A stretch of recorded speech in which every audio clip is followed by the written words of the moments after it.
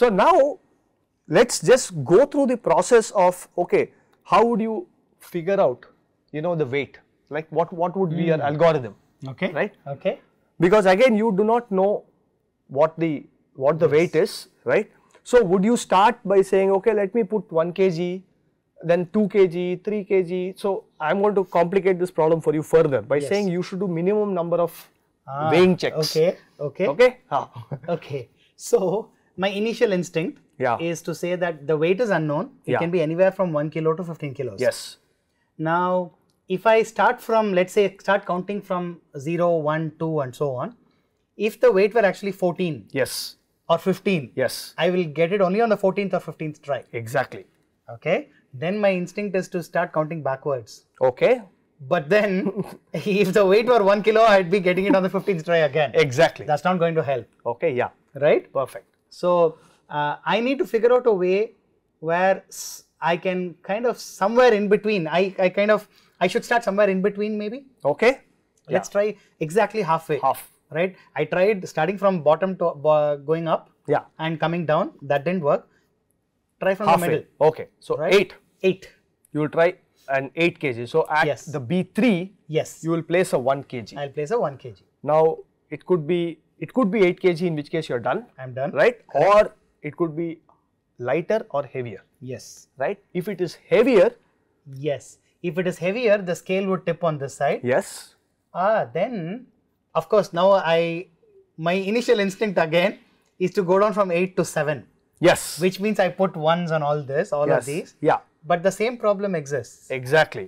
because um, from 8 if the weight were 1 kilo Yeah. I would be counting down one by one Exactly.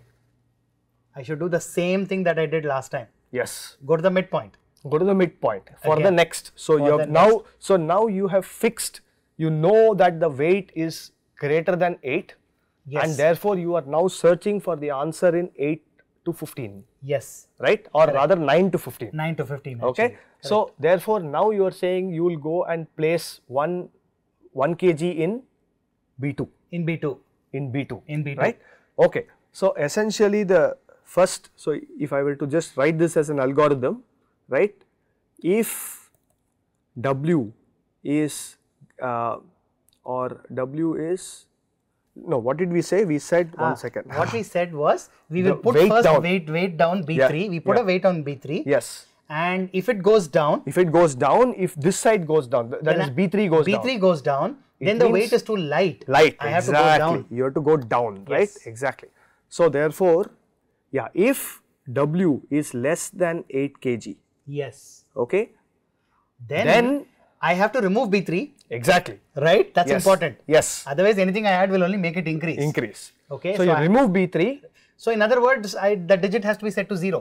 I would think. exactly so if it is this thing it implies b3 is 0 yes. right? But if the weight is more than 8 kg Yes. right?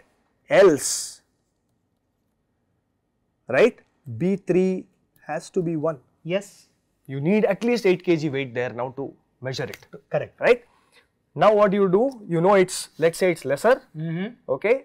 So you therefore do the same thing with Do b2 the same thing with B2 because again, instead of counting from 1 to 15, I have now converted the problem to counting from 1 to 7. 7 exactly right?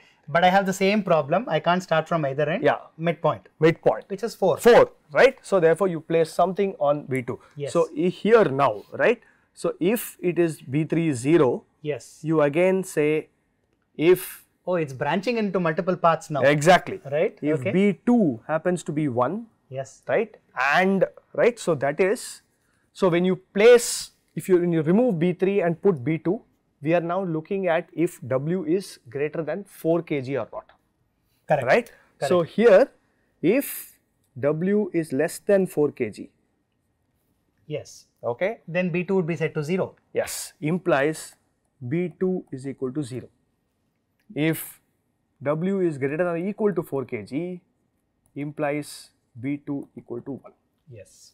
okay so you continue this process right Correct. and then you do it for b1 B1. then you do it for b0 Yes. right so eventually you just do this you know, and this is what we saw even in that flash ADC, That's right. right? If you remember, right? That's we are right. going to just search for the binary answer, right? Correct, Rather correct. than uh, are this thing. figuring out the point where it turns from 1 to 0. Ones- ones, ones to to zero, right? Exactly. Okay. So that binary search algorithm you apply here, you will get the binary representation of uh, an integer, right? So you take any integer now, i, you can represent it by a sequence of numbers b n minus 1, b n minus 2, b 0. Okay? And this is called an n bit binary number.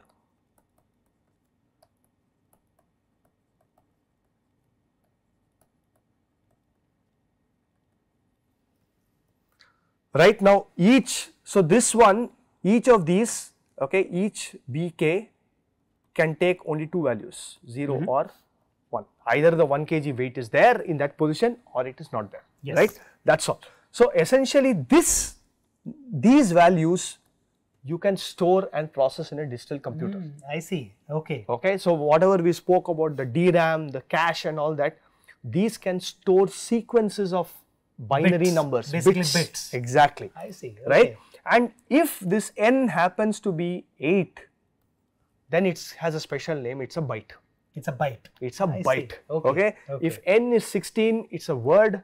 It's a word. If okay. n is 32, it's called a D word, double word. double word. right? So typically uh, the uh, instructions in a microprocessor or even the data that is stored in a memory, will they will describe in terms of bytes, words and see. D words. I see. And now uh, I see that a lot of microprocessors are saying uh, advertising a 64 bit. Exactly. So Right. that's you know you can you can keep going You can higher keep going and higher higher and higher, I assume. Exactly. Okay. Okay.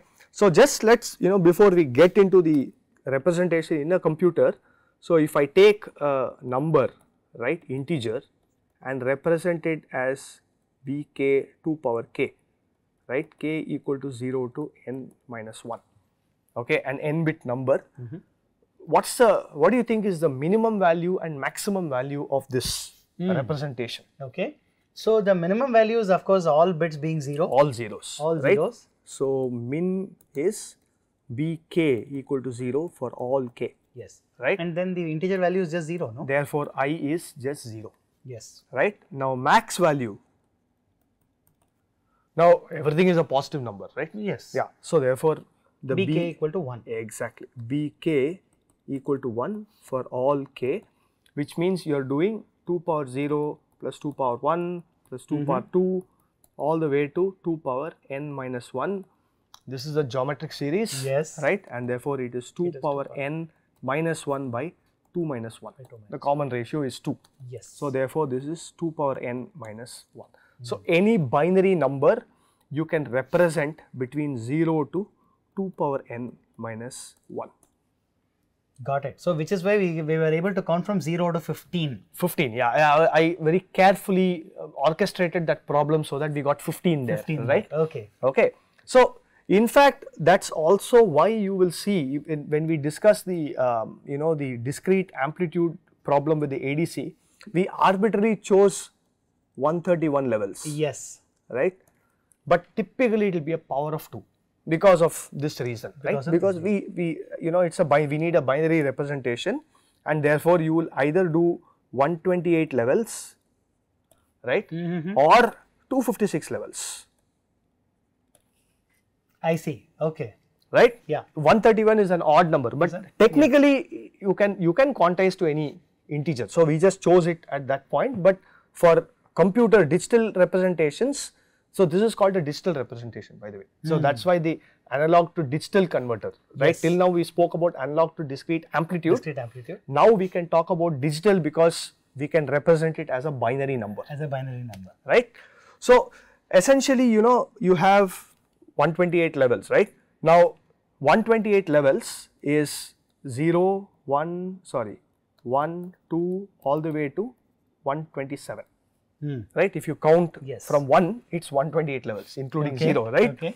And the 127 is 2 power uh, 7 minus 1. 2 power 7 minus 1. Therefore, if I have 128 levels, Yes. I can represent it with a 7 bit binary number.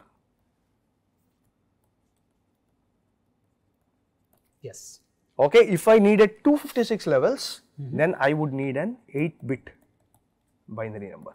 Yes. So the ADCs and all that stuff that we talk about are also usually classified based on number of bits. Number of bits. Okay, so a 7 bit ADC or an 8 bit ADC. exactly, and so 8 on. bit ADC and so on. So that's how we represent these numbers.